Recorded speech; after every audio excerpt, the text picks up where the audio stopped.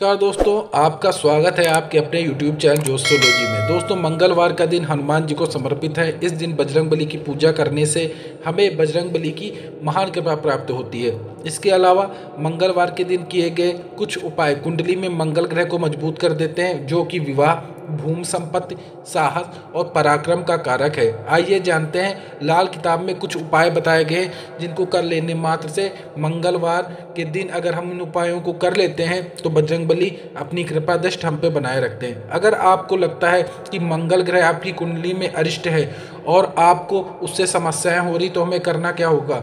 हमें शनिवार के दिन हनुमान जी को चोला चढ़ाना चाहिए। हनुमान जी को हमें केवड़े का इत्र चढ़ाना चाहिए।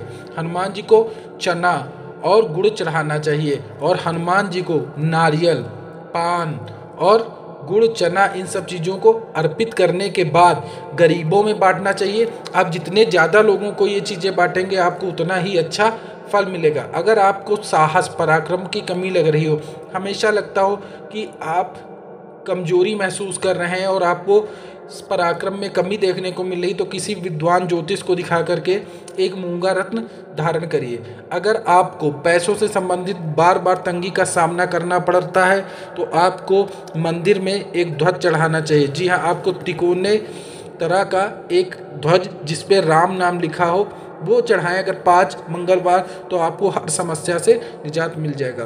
दोस्तों, अगर आपको यह वीडियो अच्छी लगी तो प्लीज़ इस वीडियो को लाइक करें, शेयर करें, चैनल को सब्सक्राइब करें। जय श्री राम, जय हनुमान।